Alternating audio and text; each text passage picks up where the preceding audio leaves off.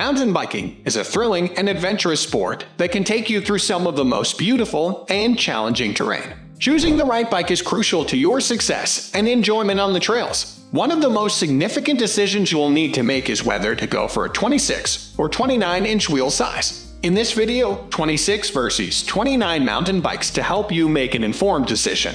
So grab a seat and let's dive in.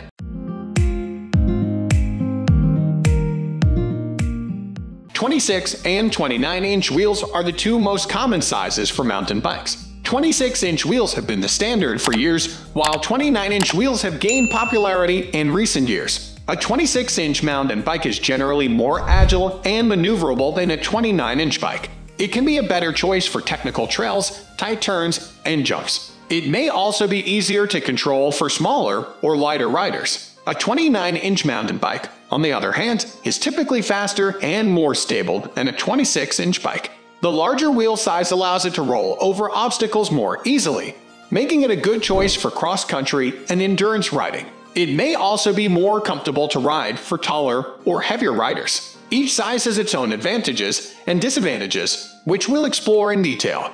Wheel size the most obvious difference between 26 and 29 inch mountain bikes is the wheel size. 26 inch wheels are smaller and lighter, making them more maneuverable and responsive. 29 inch wheels are larger and heavier, making them more stable and better at rolling over obstacles. Traction Another crucial factor to consider is traction. Larger wheels have a larger contact patch with the ground, which means they can provide better traction and grip. However, Smaller wheels are better at maintaining traction in tight turns and technical sections of the trail. Suspension. Suspension is another essential component of a mountain bike, and it's affected by wheel size. 29-inch wheels have a longer wheelbase, which means they can handle larger suspension travel. This makes them ideal for riders who want to tackle more challenging terrain. On the other hand, 26-inch wheels have a shorter wheelbase, making them better suited for cross-country riding.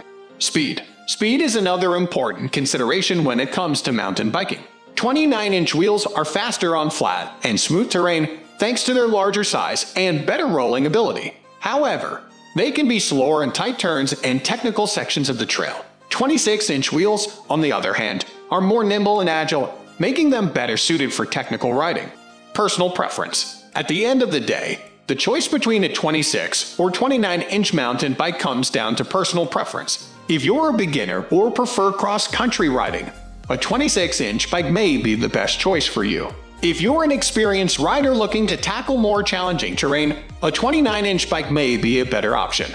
Maintenance Another factor to consider is maintenance. Larger wheels require more maintenance as they have more spokes and a larger surface area to maintain. Smaller wheels are easier to maintain and replace as they have fewer spokes and a smaller surface area. Price. Price is always a factor when it comes to buying a mountain bike. 29-inch bikes tend to be more expensive than 26-inch bikes due to their larger size and more advanced suspension. However, there are plenty of affordable options available for both wheel sizes. Choosing between a 26 or 29 inch mountain bike can be a challenging decision, but understanding the pros and cons of each size can help you make an informed choice. Whether you prefer the agility and responsiveness of a 26-inch bike or the stability and traction of a 29-inch bike, there's a mountain bike out there that's perfect for you. So, get out there and hit the trails, no matter what size wheels you have. We are almost wrapping up. These are the common differences between these two. Hope you like this video. Please comment, share, and subscribe to this channel for more videos.